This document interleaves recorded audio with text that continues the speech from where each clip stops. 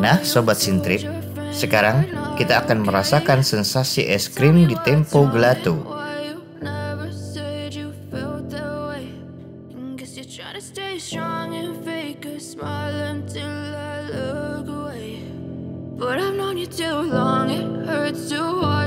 Gelato adalah es krim khas dari negara Italia.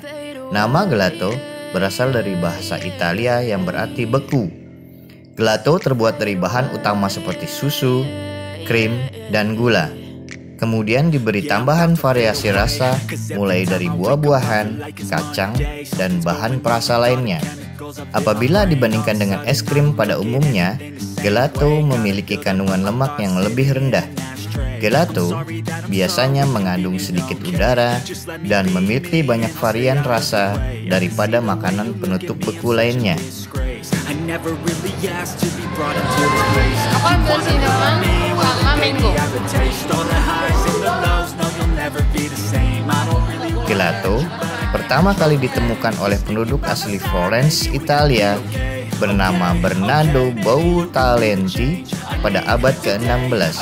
Pada saat itu, Bernardo menciptakan gelato untuk menyenangkan bangsawan Italia yang menjadi Ratu Prancis Catherine de Medici. Dari sana, Gelato mulai menyebar ke seluruh Italia dan Eropa.